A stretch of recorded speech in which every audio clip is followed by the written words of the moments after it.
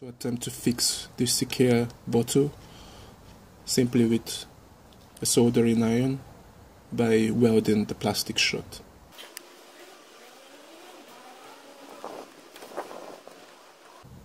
Now I'm just basically piercing between the crack to try to start fusing both parts together.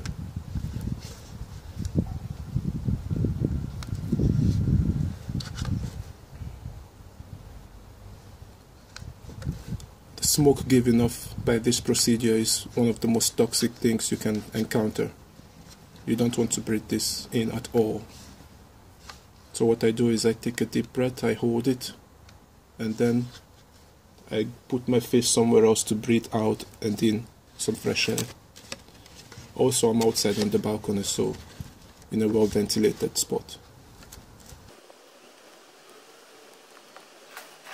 Okay, so you can see that we have the base fixed simply by making those holes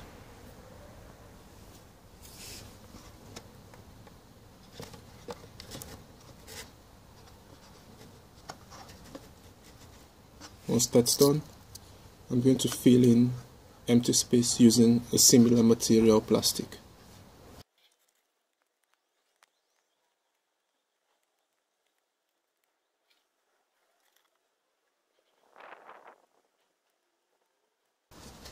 Okay, so you can see from just stabbing holes into infusing the plastic along the crack,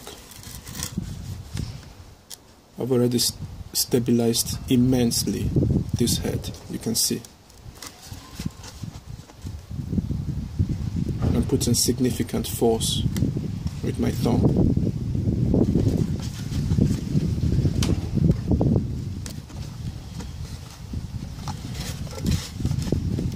okay, so now I'm going to try to fill in the gaps using just pieces of plastic that have the same type of composition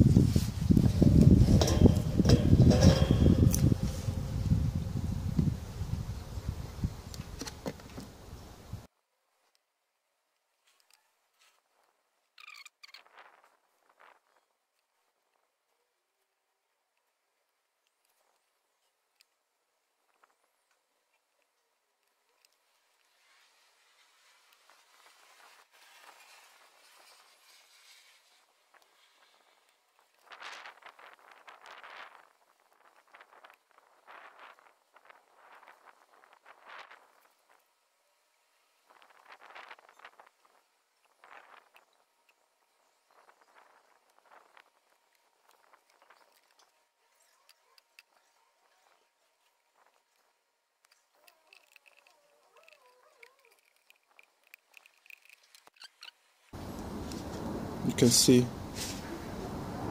I can't crack this open just with reasonable force. You can see it flexing flexing this section here. I, I will not be beautifying or cleaning up this because it's staying under under the sink. So I'm just going to go back and install it. I think this job is done. So the bottle has been filled up with soap and now to install so that's where it's going under the sink.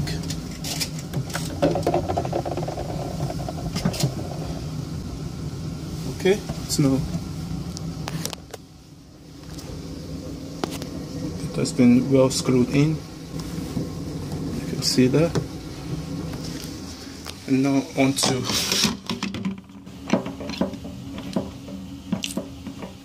and here it is. I'm happy that I've been able to solve it as we've been looking for a solution for this. It's just an irreplaceable part from IKEA, very specialized head, and uh, I'll still be looking for a bottle to fix in its place, but for now it should get the job done for some months or maybe years to come.